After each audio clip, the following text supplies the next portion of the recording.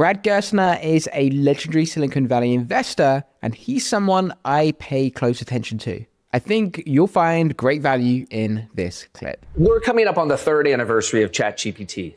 We've come a long way fast. Um, you know, you've seen NVIDIA add almost $200 billion of revenue in the last three years. Yeah. Truly extraordinary.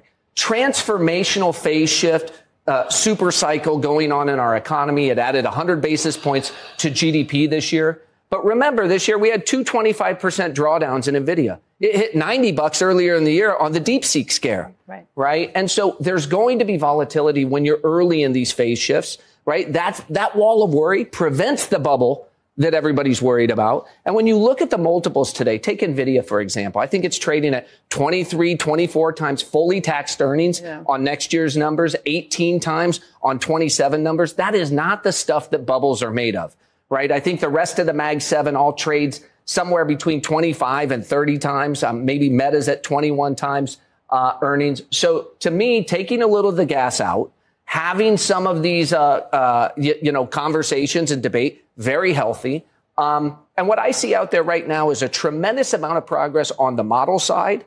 But I think the diffusion, how, the rate at which this transforms lives, both consumer lives and enterprise, that takes time. Um, and that's what we're seeing play out. We're seeing the debates about NVIDIA versus Broadcom, Google versus OpenAI. Well, yes, and that's what I was going to get to. Is the new version of Gemini better than ChatGPT? It's terrific. It's terrific. Remember, a year ago we were counting, uh, you know, Google out of the equation. I've said on Twitter and otherwise, we own Google. Yeah. Um, I've said it's very difficult to pick a winner here. So you can own them all. You can own OpenAI and Anthropic. You can own Google uh, and and Microsoft. Um, and I think at this phase, you know, uh, you probably should do that. I think Google's done an incredible job. Remember, a year ago, Satya was saying, you know, we're making Google dance. Mm-hmm. I think Sundar is making people do a little dancing today. Yeah. Um, and so that is, that's part of the competitive dynamic that I think is great for the country. It's what's going to keep us on the leading edge. That, that's great for the technology spending. There are a lot of questions about what this means for the business world too, for enterprise. Um, yesterday, Jensen Huang was on Squawk on the Street with Jim Cramer, talking a little bit about that deal that they did with Synopsys, and that was pretty interesting to hear how it's got to be able to be used by these big industrial companies to be able to really make the next steps. Right. And Jensen made the point that I thought was really interesting that 90% accuracy is okay if you're dealing with consumers. It is not okay if you're in any of these big enterprise issues. That's right. That's right. Think about it this way. The machine that builds the machine right? That's really what he's talking about. We saw that with Tesla and Elon, right? Elon used to talk about we can't get to where we need to get to with electric cars until we first build the machine right? A totally new way to manufacture cars that can drive down the cost. And that's what you see Jensen talking about, for example, in the design of chips, right? That you really imbue the entire industrial economy with AI. And all of those benefits lie before us. I think we're going, we're heading into a very uh, significant productivity boom. I've talked about the golden age of margin expansion for a lot of industrial and other companies in America that can simply do more with less our economy is going to see that productivity tailwind. Um, and, you know, but it's never a straight line up and to the right, Becky. And so I think for people who are watching it, you know, you, you've got to anticipate we're going to have volatility. I remember early in the internet super cycle, Google would be up five or 10% a day.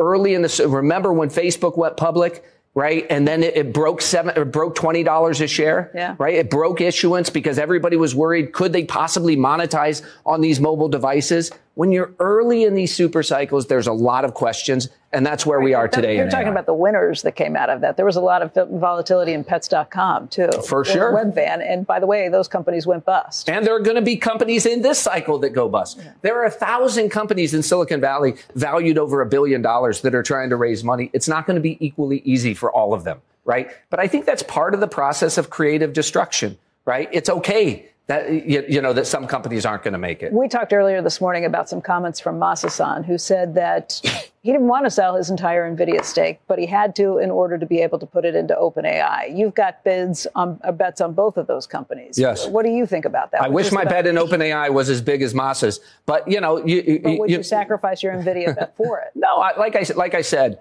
NVIDIA has been an extraordinary winner. We invested in NVIDIA in December of 22, right after we saw ChatGPT. The stock's up over 10, 10 times uh, 10x over that period of time as the revenue went from roughly $30 billion a year to over $200 billion a year. And they just told us that we should expect a run rate by the end of next year of $100 billion. Mm-hmm. And this is at the same time that Broadcom is doing extraordinarily well.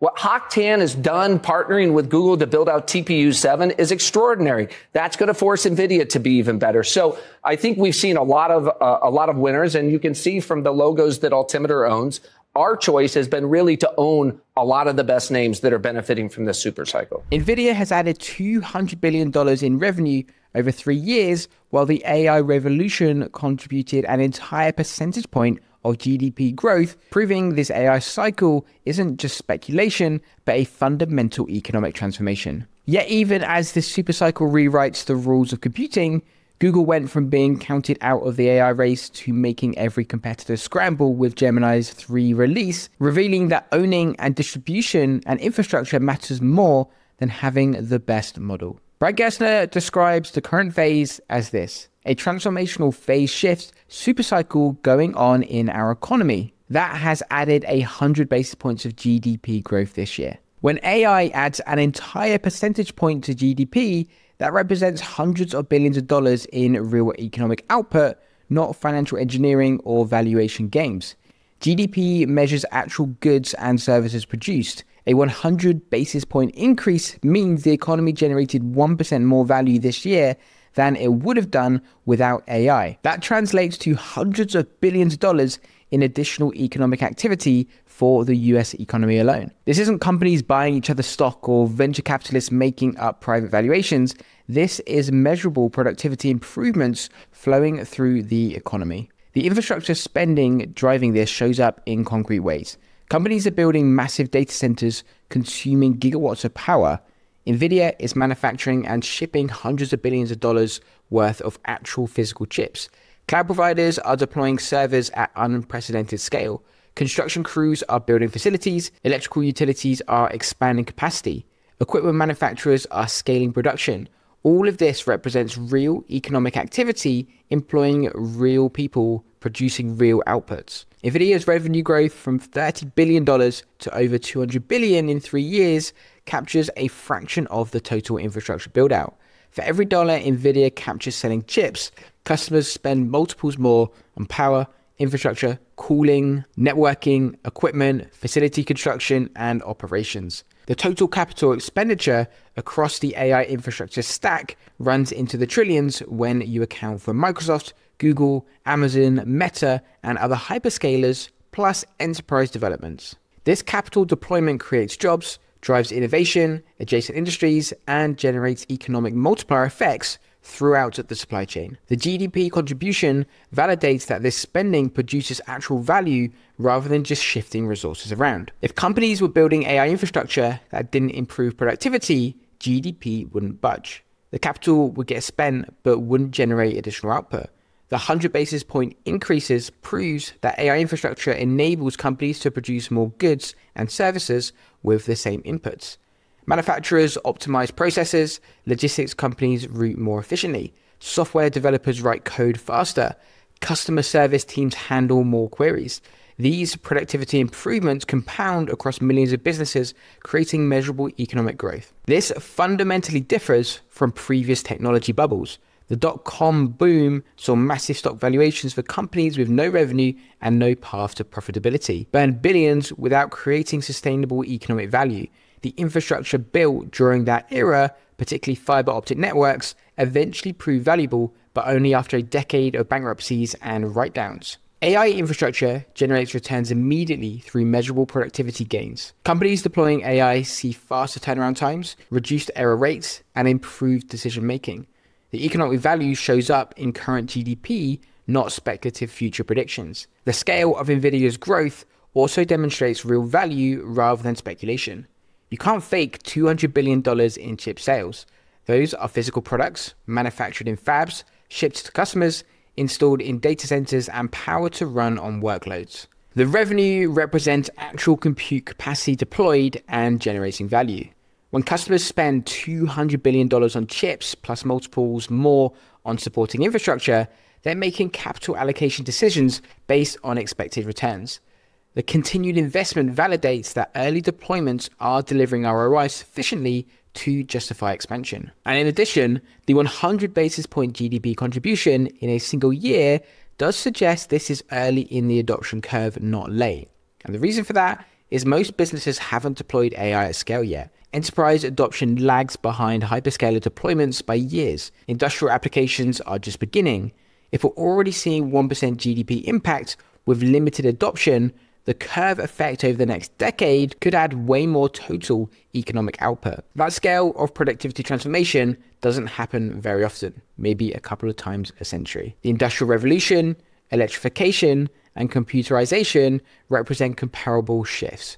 AI appears to be a similar magnitude transformation happening faster than previous technology transitions. But while infrastructure spending and GDP growth proves AI's economic value, the battle for who captures that value is being won by companies with distribution advantages the market completely underestimated. Google going from counted out to making competitors dance with Gemini 3 validates that distribution advantages and existing infrastructure can beat first mover advantages in foundational model competition. A year ago, the entire market wrote off Google as an AI loser. OpenAI and Microsoft dominated mindshare ChatGPT became synonymous with AI in popular culture.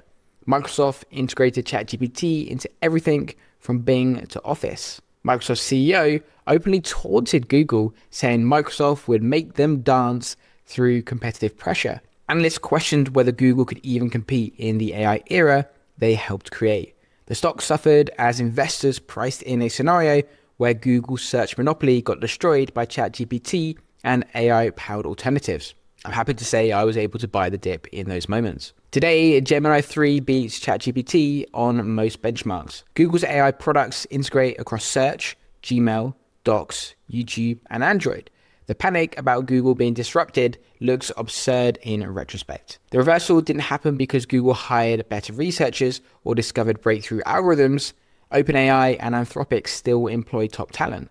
The shift happened because Google's distribution advantages and existing infrastructure creates moats that first mover advantage can't overcome. Distribution means reaching users without acquiring them. ChatGPT gained users through viral adoption and media coverage. That works for reaching early adopters and tech enthusiasts. It doesn't scale to billions of mainstream users who never download new apps. Google reaches these users through products they already use daily. Search handles 8 billion queries per day. Gmail has 2 billion users. YouTube serves billions of hours of video. Android powers billions of phones. Chrome dominates web browsing.